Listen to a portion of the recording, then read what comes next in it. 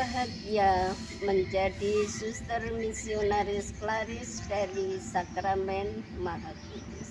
Perkenalkanlah saya Suster Katarina Hartuti dilahirkan di Madiun delapan bersaudara dari keluarga muslim.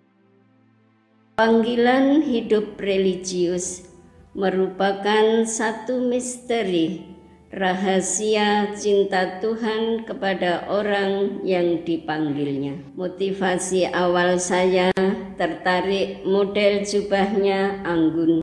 Suster-susternya ramah, gembira, semangat persaudaraan. Saya diterima sebagai postulan 12 Desember 1972.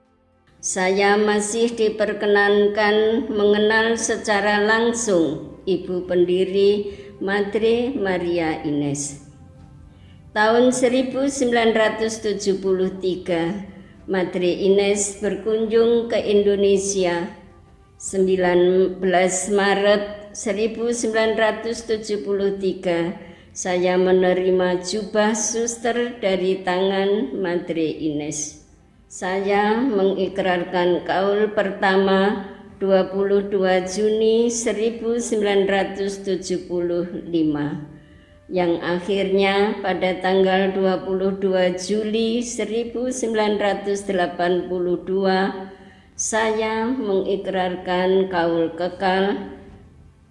Saya sangat terkesan semangat misioner Beata Maria Ines Hatiku membara, berkobar, semakin jatuh cinta akan jiwa-jiwa. Aku rindu memenangkan mereka semua bagi Allah.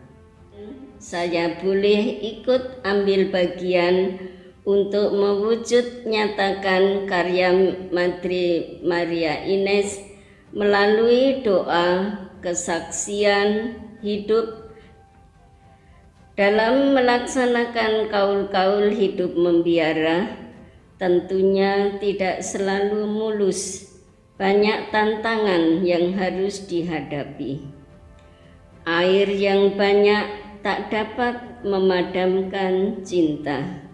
Sungai-sungai tak dapat menghanyutkannya. Kutipan dari Kidung Agung inilah yang menguatkan aku setia sampai hari ini. Bersediakah Anda menggantikan saya?